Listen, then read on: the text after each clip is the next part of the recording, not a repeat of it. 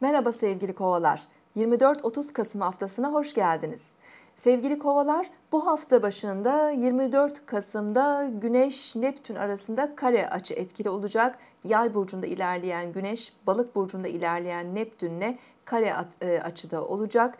Güneş Neptün kareleri e, sezgileri arttırabilir, manevi ve ruhsal konularda e, daha güçlü etkiler yapabilir. Sanatsal konularda yaratıcılığı ve ilham e, duygusunu arttırabilir.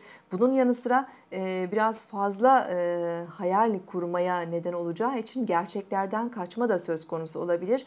Özellikle sizin için e, birlikte çalıştığınız e, işlerde, arkadaş çevrenizde, gelecekle ilgili projelerinizde e, işinizden e, alınacak e, gelirlerle alakalı maddi gelirlerinizle ilgili konuda gerçeklerden uzaklaşmamaya çalışmanız konusunda uyarıyor gökyüzü. Biraz daha gerçekçi olmalısınız, çok fazla hayal kurmamalısınız. Zaman zaman bir iki günlük, birkaç günlük sizi etkileyebilecek bazı belirsizlikler ve karışıklıklar olabilir.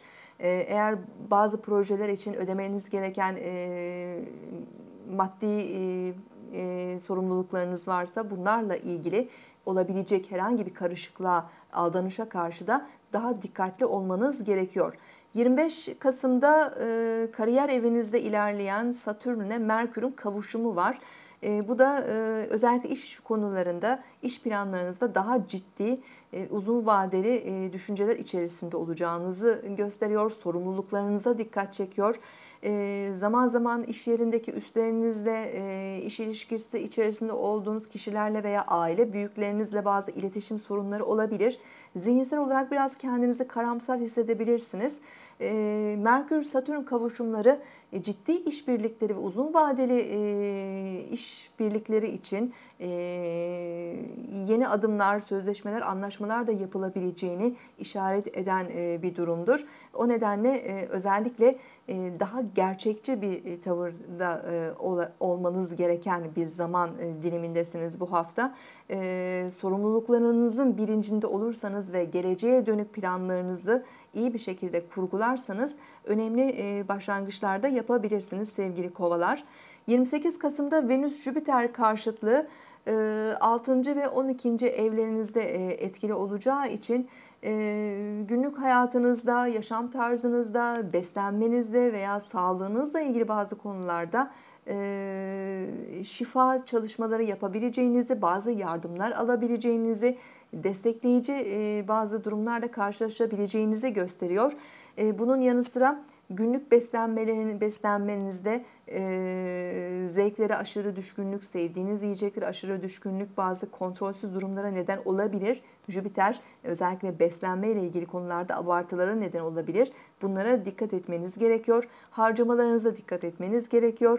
E, planlarınız e, haricinde e, kontrol dışı bazı harcamalar da gündeme gelebilir. E, bu konularda dikkatli olmanız gerekiyor.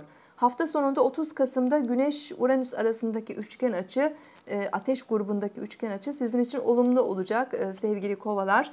E, hafta başındaki o belirsiz enerjiler, Neptün'ün yarattığı karışıklıklar hafta sonunda 30 Kasım'da artık dağılabilir ve biraz daha net etkiler sizin için gündemde olacak. Özellikle iletişimin hızlandığı bir zaman olacak hafta sonu.